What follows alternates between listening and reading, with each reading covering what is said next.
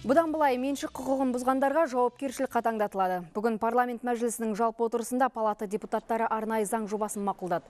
Заңға сәйкес енді меншік иелеріне келтірілген шығын мемлекеттік органның немесе лауазымды адамның кінәлі кінәсіздігіне қарамастан өтелетін болады.